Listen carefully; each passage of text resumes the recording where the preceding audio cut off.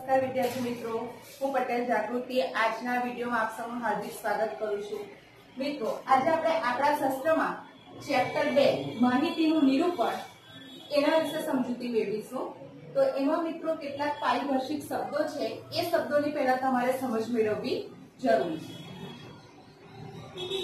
પહેલું છે ચલ અને ચલના પ્રકાર. તો કે ચલ એટલે શું? તો કે જે રાશિની કિંમત જુદા જુદા એકમ માટે જુદી જુદી હોય. તે રાશિને ચલ કહે છે. જે રાશિની કિંમત જુદા જુદા એકમ માટે, જુદી જુદી હોય, જુદા જુદા એકમ માટે બદલાતી હોય, તે રાશિને ચલ કહે છે. દાખલા તરીકે કુટુંબ દીઠ બાળકની સંખ્યા. દરેક કુટુંબ દીઠ બાળકની સંખ્યા જુદી જુદી હશે. કોઈ કુટુંબ હશે તો એમાં બે બાળકો હશે, કોઈ કુટુંબ હશે તો એમાં ત્રણ બાળકો હશે, કોઈ કુટુંબ હશે તો એમાં એક બાળક હશે. છોડ દીઠ ફૂલની સંખ્યા. એમાં પણ રાશિની કિંમત જુદા જુદા એકમ માટે જુદી જુદી હશે. કોઈ એક છોડ હશે તો એના ઉપર બે ફૂલ હશે, કોઈ છોડ હશે તો પાંચ ફૂલ હશે, કોઈ છોડ હશે તો દસ ફૂલ હશે. પાના દીઠ ભૂલની સંખ્યા. દરેક પાના ઉપર ભૂલની સંખ્યા પણ અલગ અલગ હોય છે. એટલે ચલ એટલે કે જે રાશિની કિંમત જુદા જુદા એકમ માટે જુદી જુદી હોય, તે રાશિને આપણે ચલ કહીશું. અને ઉદાહરણ તરીકે તમે અહીં આપી શકો કુટુંબ દીઠ બાળકની સંખ્યા, છોડ દીઠ ફૂલની સંખ્યા અને પાના દીઠ ભૂલની સંખ્યા. અસતત ચલ. ચલના બે પ્રકાર છે. અસતત ચલ અને સતત ચલ. અસતત ચલ એટલે શું? તો કે જે ચલ અંતરાલ એ અને બી એની અમુક જ કિંમત ધારણ કરે. ઘણી બધી કિંમત નહીં, પણ અમુક જ કિંમત ધારણ કરે તો તેને અસતત ચલ કહે છે. દાખલા તરીકે છોડ દીઠ ફૂલની સંખ્યા એને આપણે ગણી શકીએ છીએ. પાંચ, દસ, પંદર કુટુંબ દીઠ બાળકની સંખ્યા એને આપણે ગણી શકીએ છીએ. તો અસતત ચલ એટલે જે ચલ અંતરાલ ab ની અમુક જ કિંમત ધારણ કરે તો તેને અસતત ચલ કહે છે. સતત ચલ.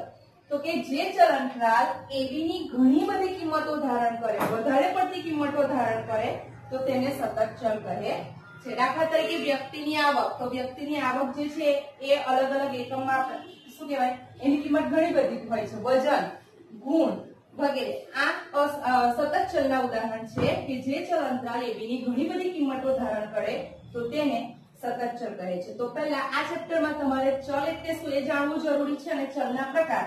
તો કે અસતત ચલ અને સતત ચલ. કારણ કે જે પણ આપણે દાખલા ગણવાના આવશે, એ આ બે ચલ, અસતત ચલની માહિતી અને સતત ચલની માહિતીના આધારે ગણવાના આવશે. મિત્રો, ચલના આપણે બે પ્રકાર જોયા. અસતત ચલ અને સતત ચલ. અસતત ચલ એટલે કે જે ચલ રાશિની અમુક જ કિંમત ધારણ કરે એ વચ્ચેની અમુક જ કિંમત ધારણ કરે તેને અસતત ચલ કહેવાય. તો આપણે અસતત ચલનું એક ઉદાહરણ જોઈએ. એક બગીચામાં ગુલાબના ચાલીસ છોડ પર ફૂલોની સંખ્યા નીચે મુજબ મળી રહે છે. જો ગુલાબના છોડ પર ફૂલોની સંખ્યા એટલે કેવો ચલ છે? અસતત. અમુક જ કિંમત ધારણ કરે છે. તે પરથી યોગ્ય આવૃત્તિ વિતરણ તૈયાર કરો. તો અવલોકનો જોઈને આપણે નક્કી કરવાનું છે કે આપણે સતત આવૃત્તિ વિતરણ તૈયાર કરવું કે અસતત? તો કે ફૂલો, છોડ પર ફૂલોની સંખ્યા કયા પ્રકારનું આવૃત્તિ વિતરણ છે? તો કે અસતત. તો અહીંયા તમને અવલોકનો આપેલા હશે. એ અવલોકનો પરથી તમારે અસતત આવૃત્તિ વિતરણ તૈયાર કરવાનું રહેશે. તો કે અસતત આવૃત્તિ વિતરણ, આ શું આપેલું છે? સારી માહિતી આપેલી છે? તો કે છોડ પર ફૂલોની સંખ્યા. તો પહેલી જે કોલમ છે એ બનાવીશું આપણે, છોડ પર ફૂલોની સંખ્યા, પછી આવૃત્તિ ચિહ્ન અને આવૃત્તિ. હવે આ દાખલો ગણતી વખતે સૌપ્રથમ શું કરવાનું તો કે વિસ્તાર શોધવાનો. વિસ્તાર એટલે કે રેન્જ જેને આપણે આર કહીએ છીએ. તો કે વિસ્તાર એટલે શું? તો કે મહત્તમ કિંમત માઇનસ લઘુત્તમ કિંમત. મહત્તમ કિંમત એટલે જે કંઈ પણ અવલોકનો આપેલા છે, એ અવલોકનોમાંથી સૌથી મોટી કિંમત અને સૌથી નાની કિંમત શોધવાની. મહત્તમ કિંમત એને આપણે એચ કહીશું અને લઘુત્તમ કિંમત. હાઈએસ્ટ અને લોએસ્ટ તો એ રીતે આપણે શોધવાનું છે. તો કે મહત્તમ કિંમત કઈ? આમાંથી સૌથી મોટું અવલોકન કયું? તો કે સૌથી મોટું અવલોકન જે છે એ અવલોકન સાત.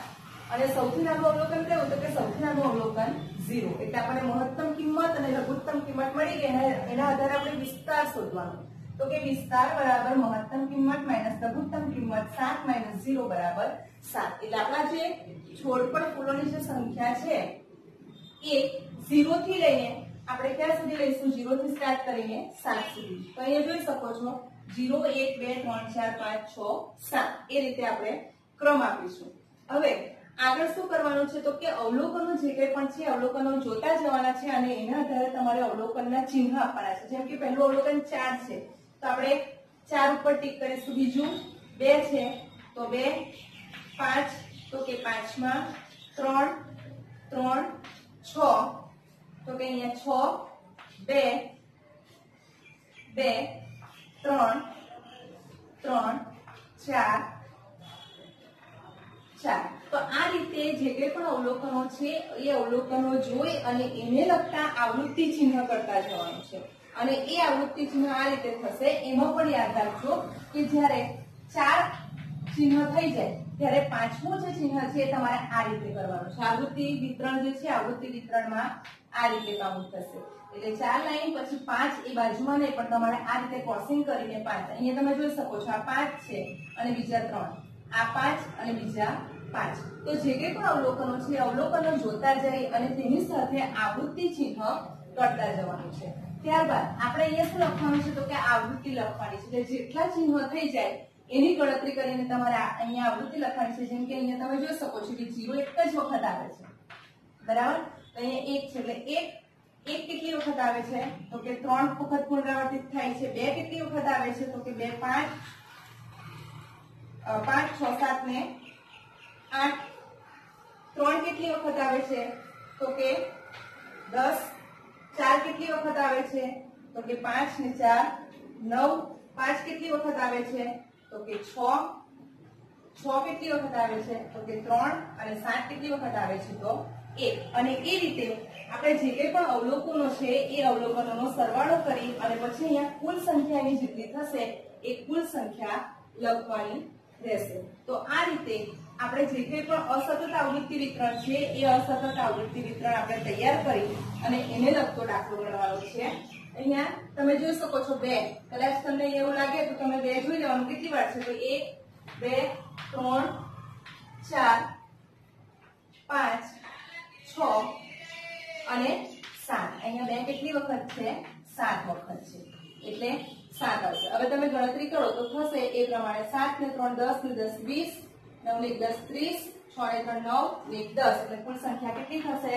તો કે કુલ સંખ્યા થશે ચાલીસ. તો અહીંયા તમે જોઈ શકો છો, ચાલીસ છોડ પર. એટલે તમારો જે રકમમાં હશે એ પ્રમાણે તમારો જવાબ પણ આવી શકશે. એટલે મિત્રો, આ રીતે તમારે ગણતરી કરી અને દાખલો ગણવાનો છે. અસતત આવૃત્તિ વિતરણ. જે કંઈ પણ અવલોકનો હશે એ અવલોકનો જોતા જાય અને એ અવલોકનની સામે ચિહ્ન મૂકતા જવાનું છે અને ચિહ્ન ગણી અને જે કંઈ પણ થશે એની આવૃત્તિ બનશે. તો તો પ્રશ્ન થાય કે આવૃત્તિ એટલે શું? તો કે આવૃત્તિ એટલે જે કંઈ પણ અવલોકન કેટલી વખત પુનરાવર્તિત થાય છે, પુનરાવર્તિત થતી સંખ્યા એને આપણે શું કહીશું? આવૃત્તિ. Thank you